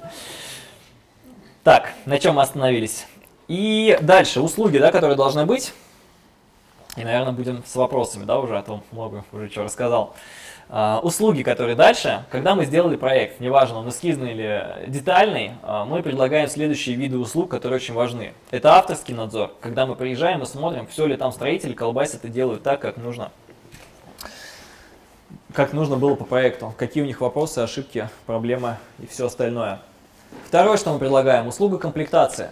На услуги комплектации дизайнер у нас а, Э, работает как комплектатор, и он помогает купить все, что, что нужно. За 10% примерно от стоимости закупаемого. Если клиент сам не хочет этим заниматься, то этим занимается комплектатор. Очень выгодная история. И управление строительством, когда вы выступаете в роли генерального менеджера, который сам организует встречи на объекте и который соединяет поставщиков разных, да, по электрике, инженерам и всему остальному, и э, дизайн соединяет, устраивает э, еженедельные встречи, или чаще, если нужно, и строителей, и следит за тем, чтобы все было построено. В этом случае клиент, э, вернее, дизайнер является представителем клиента. Даже если нужно в инстанциях, как правило, согласование в управляющей компании, ну и все остальные бюрократические все истории, клиент только получает отчеты на электронную почту. Это как бы полный комплекс. Есть еще генеральный подряд, на который подписываются многие дизайнеры по неопытности и незнанию, когда дизайнер, дизайнер выдают кучу денег да, под расписку или просто так. Но я очень сильно вас отговариваю от того, чтобы это делать. Если у вас нет сильного зубастого юриста, и вы не, не берете себе, а берете через какой-то договор и через... Э, ну, это, это серьезный отдельный бизнес, вот именно ген подряд. Да, там больше денег, но очень-очень-очень высокий риск. И э, нужен очень так, европейская, по сути, нужна модель ведения там, всех договоров, очень педантично все это вести. Последний пример, э, который я знаю, одни наши коллеги, делая проект, делая его полтора года, ушли в минус на 4 миллиона. То есть им пришлось выплатить еще клиенту после того, как они все сделали, еще 4 миллиона за то, что там, по разным причинам, по неустойкам, по всему остальному, взяв на себя генеральный подряд. Он сказал, ну я снимал, вы там опоздали, а я снимал квартиру там, там сколько-то месяцев. Вот, пожалуйста, вот вам чеки, возмещайте. Все, не доплатил просто денег. То есть они не то, что не заработали, не в минус ушли. Вот такая история. А? Да? Да. Я, я к тому, что они не выполнили, потому что у них управление было не идеальное, да они пытались, как, как обычно, я говорю, как вы вообще так делаете? Говорит, ну, обычно мы договариваемся как-то с клиентами. Ну, а с этим не договорились. Ну, и, и правильно, да, клиент говорит, ну, я ничего не знаю, ничего против не имею, но ну, договор подписали, подписали, будьте добры. Поэтому будьте очень внимательны. Я не говорю, что этим не надо заниматься, этим можно и нужно заниматься, и многие люди этим занимаются. Но к дизайну это имеет очень маленькое отношение, это совершенно другой бизнес. Поэтому идеальная ситуация, ну вот, наверное, да, вот к чему мы пришли, это управление. То есть мы оказываем консультационные услуги, как консультанты, да, беря деньги за либо выезд, либо помесячно, соединяя всех э, воедино, но не неся за них ответственность, и договор клиент подписывает на себя. Вот это самая такая нормальная история, если э, вы не хотите заниматься только там, юридическими вопросами. Давайте, наверное, отвечу на вопрос, если есть. Давайте. Пожалуйста, по поводу услуги комплектации. То есть вы спецификацию составляете подробно только при условии, что клиент заказывает эту услугу, правильно? Спецификацию подробную. Спе... Давайте разберемся в терминах. Есть ведомости, а есть спецификация. Ведомости состав, составляем на дизайн-проекте. В них входят, э, если это детальный дизайн-проект, то там входят артикулы. Если это не детальный, а эскизный, то туда входят э, только те артикулы, которые мы хотим, чтобы туда вошли, которые мы считаем важными для дизайна. А, если вы о спецификации, то, что вы спрашиваете, то спецификация по а, проекту уже делается, когда мы закупаем. Как правило, спецификация еще э, дополняется маркетинговыми исследованиями. То есть э, мы должны понять, ну вот возьмем вот этот проект, что у нас здесь на полу. Здесь может быть Onyx, а может быть э, плитка под Onyx. И мы должны с клиентом обсудить, то есть какой бюджет, во-первых, не поменялось ли у, них, ну, у него не, не появилось ли у него дополнительные деньги, либо наоборот не кончились ли у него деньги, потому что Onyx стоит 20 тысяч рублей, а плитка стоит 2 тысячи рублей. Выглядят они одинаково. Поэтому нам надо здесь э, понять с ним, что мы делаем. Соответственно, мы предлагаем еще раз обсудить это. Дальше я говорю, давайте плитку, потому что сэкономим, или давайте Onyx, потому что везде Onyx. И мы уже записываем спецификацию. Onyx артикул такой-то, купить там-то, стоит столько-то, там доставка столько-то, уже детально, в этом смысл. Это делается отдельно за 10% от стоимости вот этого всего на стадии комплектации. На стадии проекта это бессмысленно делать, потому что тысячу раз еще все поменяется. Нет, можно это сделать, но, как правило, это лишняя работа, которую лучше на себя ну, не брать на том этапе. То есть надо, зная все это, надо понимать, где мы можем сэкономить по времени, по деньгам и не делать это. Ну, объяснить клиенту, что он тоже может сэкономить. Получается в опасности того, что когда клиент видит артикулы, да, вот эти спецификации, он может эту услугу не заказывать. Он пойдет, Он увидит только, когда он заказал. Как он это увидит? ну то есть он потом уже обязан через вас платить, получается. Не через нас, нет. Ну, как только мы выполнили э, маркетинговое исследование, предоставили ему спецификацию, у нас э, договор на комплектацию должен ну, быть так составлен, чтобы он э, заплатил вам либо заранее, либо по факту проделанной работы выставления счета. То есть это прописано все детали в договоре на комплектацию, там есть особенности. Но, понимаете, клиенту невыгодно это делать, потому что вы же не все ему сразу подбираете. Вы начинаете там с пола или с Оникса, и этот процесс не за месяц э, проходит, а на протяжении всего проекта. Потому что на каждом проекте там не менее 200 позиций.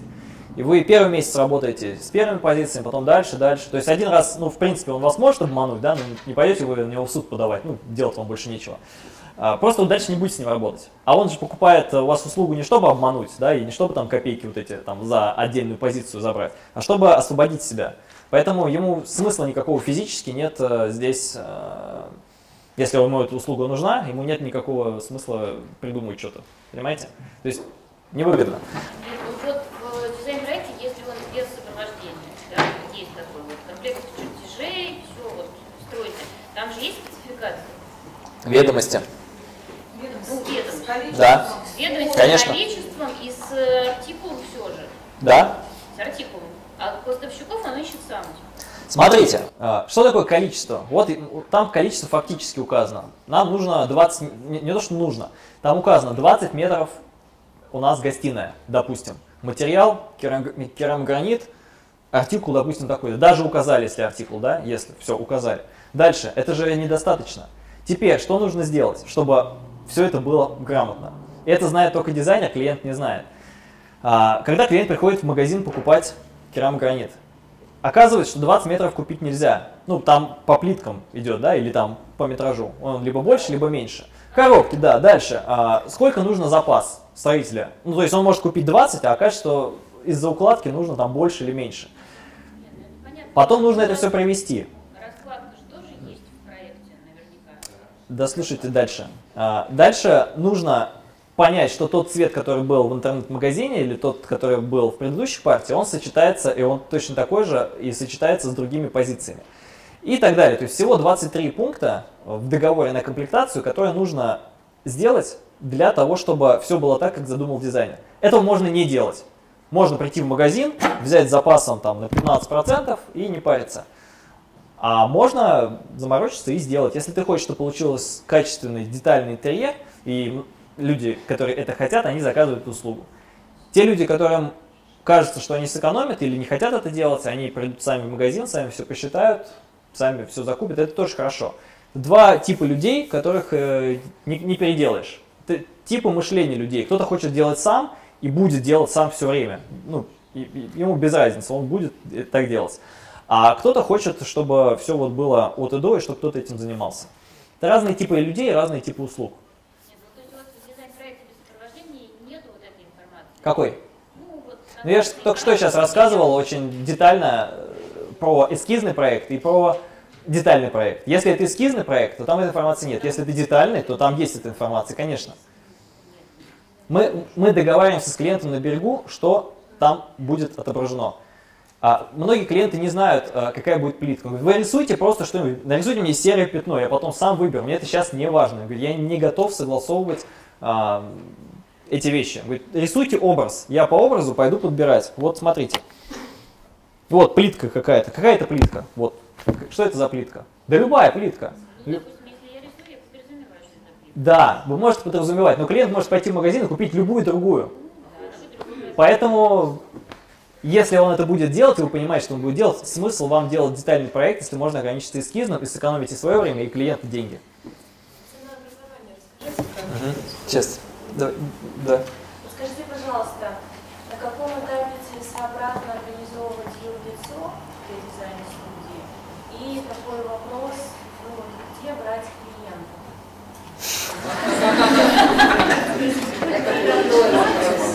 Я пыталась знакомая, там, ну, вот, какой путь, чтобы клиентов было У каждого путь этот разный, я так вам скажу.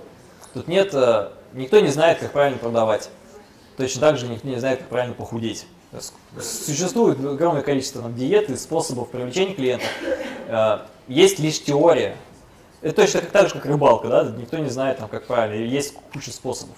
Есть э, некоторые теории, которые позволяют нам верить в то, что клиенты к нам придут. Есть у меня видео замечательно, 4 концепции привлечения клиентов. Активные действия, э, экспертность, известность и польза. Вот четыре концепции, вам рекомендую посмотреть видео. Оттуда будет много чего понятно. Сейчас я просто не успею это все рассказать. Ну, вставайте, уходите. Если не интересно. Посмотрите видео по этой части. А, сейчас, и на первый вопрос я отвечу. А, вопрос номер один. а, Когда стоит организовывать? А, Как только вы собираетесь э, ну, работать да, нормально да, и принимать деньги на счет, сразу же имеет стоить открыть э, индивидуальный предприниматель. Это недорого. Стоит, по-моему, 3-4 тысячи рублей сейчас без каких-то проблем. И э, откроете все это дело и будете платить э, отчисления налоги. Если у вас будет э, доход как бы от, на- от налогов больше, чем 25 тысяч рублей в год, вы можете оформить э, патент и списывать частные интерьеры по патенту, то есть вы всего в год будете платить 25 тысяч рублей. Это безумно выгодно э, и очень круто. Поэтому рекомендую две вещи запомнить. Первое, ИП, не надо ООО организовывать, точно. Я вам точно могу сказать, что э, ООО не нужно, вот, ну, для работы ни, ни с какой компанией. Мы с Аэрофлотом работаем, с Москва-Сити, ГАЛС, с любыми девелоперами, вообще все равно. Никто на это не смотрит. ИП подойдет для любых э, вещей. И патент. Закрыть. Зачем его закрывать? Ну, я просто говорю. Мне пока не надо. Ну, Спасибо, не, не- не нужно. Проще закрыть, чем. Ну хорошо. Подождите. И второе, запишите, пожалуйста, патент. Я когда это узнал тему, я понял, сколько мы денег просто слили э, в никуда, ну, в наше замечательное государство, скажем так. Но лучше бы оно у нас осталось, э, потому что мы имели на это полное право. Патентная система а- налогообложения – это очень важная часть. Я вообще про вот все технические вот эти детали, ну, именно организационные. У нас специальный блог будет на дизайн-конференции, там я прям собрал самые-самые важные части. Приходите обязательно э, как заключать договор с сотрудниками и так далее. Вот все вот эти вопросы, которые всех волнуют, ну, которые на самом деле к дизайну не, не имеют отношения, но их надо знать просто и все. Я все по этой теме изучил. Да. А потому что вы не имеете права заниматься че- коммерческой деятельностью, не образовав по закону, вы будете нарушать закон просто и все. Ну то есть, если вам все равно, можете не организовывать. Лицо Нет. Коммерческой деятельности нет. Вы сказали про бизнес, расскажите, пожалуйста, про дизайн, хотя бы этапы обучения. Вот с чего начинать, куда идти, э, как учиться, лучше с 3D-визуализации или насколько вообще вузы... А вы еще не учитесь? Я так понял, просто здесь либо дизайнер, либо учится еще уже. А. Приходите к нам на обучение в школу дизайна. У нас э, серьезная программа, которая рассчитана на удаленное, с, с нуля обучает. Мы обучаем, я обучаю с нуля создавать. Может любую другую школу выбрать. Но важно не школа даже, а что важно вообще? Что важно? Важно понимание процесса, как он идет, от начала до конца, чтобы вы знали, что вот вы идете этим путем. Пути могут быть разные, нужно выбрать свой путь какой-то и по нему идти, ну, не отходя. Дальше нужна теория, естественно, там композиция, там, стиля, э, планировки, это техническую, то, что вот вы рассказывали, э, вернее, говорили, техническую часть, инженерную грамоту, все это важно знать. Но дальше еще, когда вы все это знаете, когда вы сделали дипломный там свой проект, первый вот он у вас есть, вам нужна практика. Вы не станете дизайнер, пока вы не сделаете проект. И сами вы, если будете делать, будет много ошибок. Вам нужен старший какой-то наставник, либо товарищ, э, который будет э, помогать вам э, реализовывать первый проект, чтобы вы не совершили ошибок. Это очень важно, и вот этот вот институт, когда, ну как вот раньше было, это когда идет подмастерье, да, он у старших учится, это очень важно. К сожалению, вот у нас это не культивируется, мы хотим, чтобы это работало. И э, только так становятся дизайнерами. Я вот очень жалею, что э, вначале там, у меня не было там кого-то, да, кто мне, мне мог помочь именно так. И только там со вторым или с третьим проектом до меня дошло, что я работаю в хорошей крупной архитектурной студии, и я подошел к руководителю и показал ему свой проект. И э, он его просто разнес в пух и в прах, просто он мне показал там какие ошибки. Но была положительная часть. Положительная часть заключается в том, что именно тогда я понял, как делается дизайн. То есть то, что мне казалось, то есть я, когда смотрел чужие картинки, анализировал, я себе наматывал на ус всю эту информацию, и у меня своя ячейка строилась. Когда мне объяснили, как оно, вот вся та информация, как она может по-другому работать, у меня вот что-то щелкнуло, это в момент, я помню очень хорошо этот момент, и ты понимаешь вдруг, как все делается. Вот ты вот в момент все начинаешь понимать. И ты сам это никогда не поймешь, нужен кто-то извне, кто тебе подскажет, поможет. Вот, это очень важно, это многие упускают, поэтому рекомендую да, обучиться, дальше найти кого-то, кто сможет вам помогать в ведении. И дальше, когда будете на практике работать, вот у нас тоже команда сейчас, у нас каждый из команды привносит свою какую-то нотку в, в зависимости от своего опыта в дизайн. Поэтому это очень круто.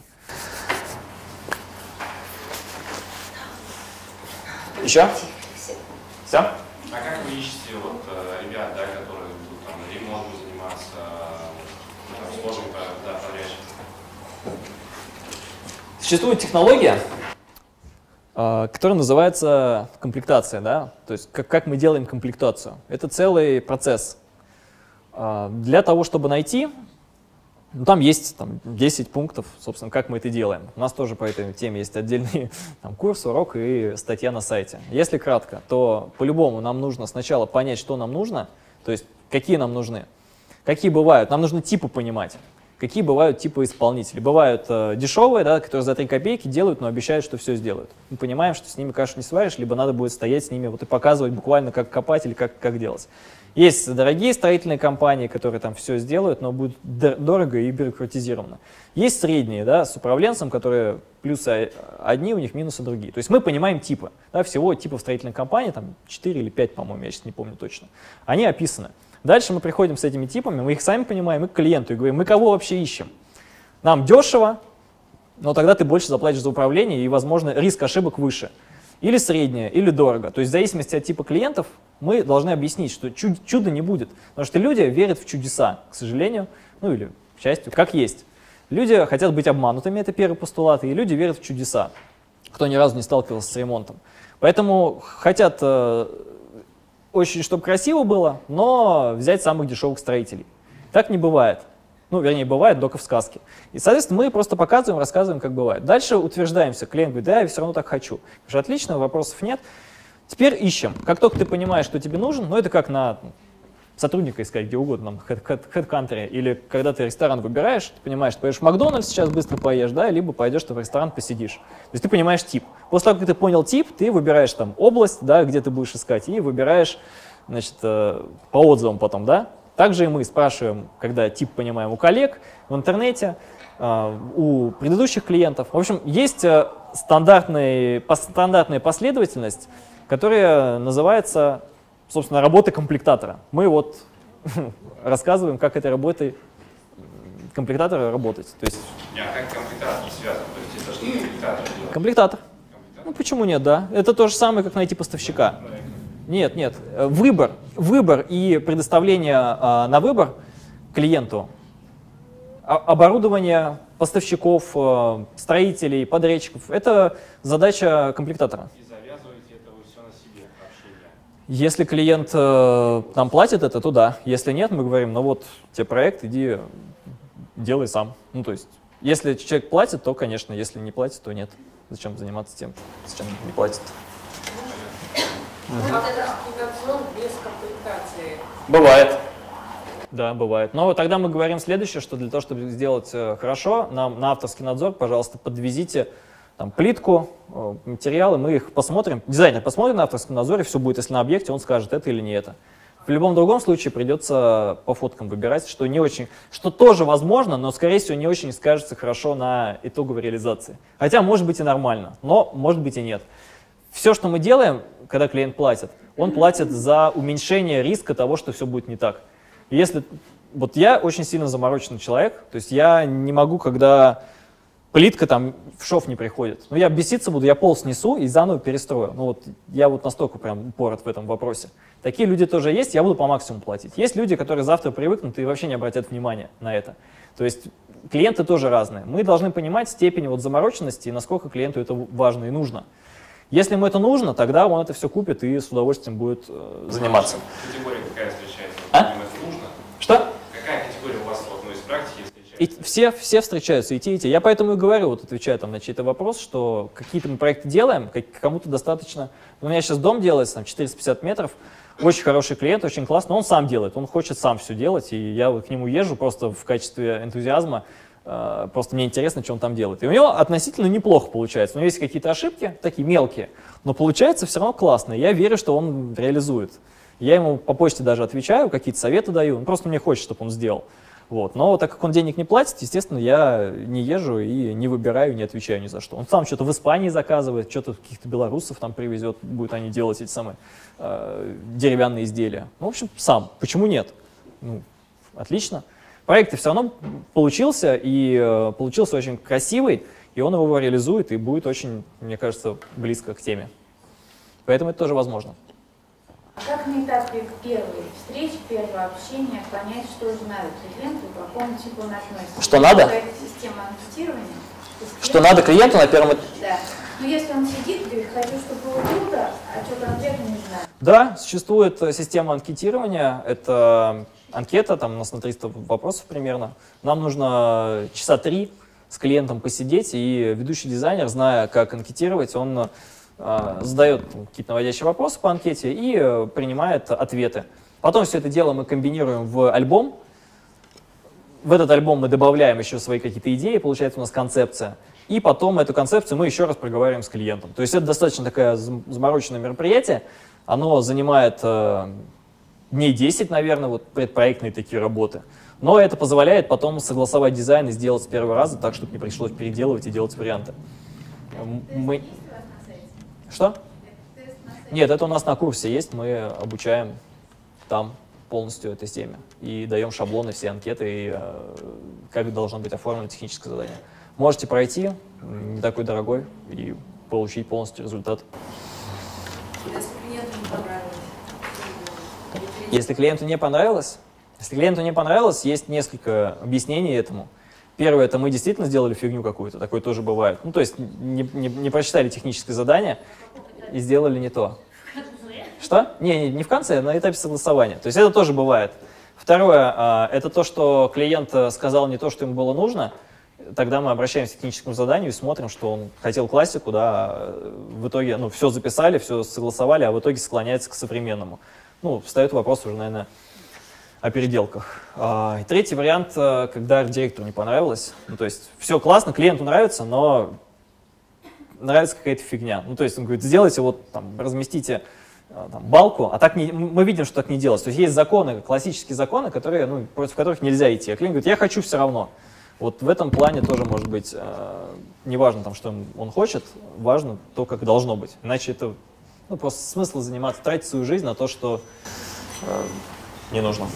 А вы как фиксируете это? Подпись ставите? Конечно, конечно. Это первый этап, это полноценная работа, стоит она 20% от проекта. То есть на этом этапе мы спокойненько зарабатываем деньги, и это первая часть нашей работы. Неправильно, еще одна важная мысль, неправильно техническое задание от клиента получать, надо собирать техническое задание. То есть вспомните ситуацию, когда вы к врачу приходите, он же не говорит там, что у вас болит, и по сразу же ну, выписывает вам лекарство. Он долго спрашивает, а симптомы какие, все записывает. Вот записывает, записывает, спо- спокойненько все. Все потом смотрит, потом говорит, а теперь анализы, а теперь рентген. Вот примерно то же самое. Вы должны все изучить спокойно, не дергаясь, полномерно. Как только вы все изучаете, в техническом задании еще есть такая штука, которая называется а, технические условия. Да? Знаете, что это такое? Вот без технических условий нельзя работать. Знаете, что это такое? Это вам задание будет. А? Узнайте. Узнайте, что такое техническое условие. Это вам сильно очень поможет. Везде есть, они, они есть. Ну что, заканчивать будем? Давайте, сколько у нас? Последний вопрос? Последний вопрос, давайте. во время авторского надзора вы ведете какой-то журнал? Да, конечно. Журнал авторского надзора, да, там записываем то, что произошло, делаем фотки. это является нашей работой. Спасибо, да. Ну вот давайте, пока важный человек спускается. Финансовый интерес э, всего этого мероприятия, рентабельность, изложена. Какого? Работы ваш бизнес. А, проекта. Проекта. А, 30-50%. То есть 50 это хорошо, 30 это окей. И это честное, как бы, это честно перед клиентом в договоре. Нет, это клиента не касается, это я вам просто говорю, рентабельность студии дизайна как бизнеса в плане разработки дизайн-проекта. Если мы говорим о дальнейших агентских вознаграждениях, если мы говорим о ведении, то там рентабельность 50-70. Поэтому я говорю, что надо дальше идти. На дизайн-проекте, вот если 30%, даже это уже очень окей. Спасибо большое. А, Друзья мои, я хочу вас а, пригласить на дизайн-конференцию. Сейчас мы про нее расскажем. Да? Ты Расскажем? пока поговори, я тебе А, несколько секунд еще. Стас, большое спасибо. Пожалуйста. Давайте еще раз поаплодируем.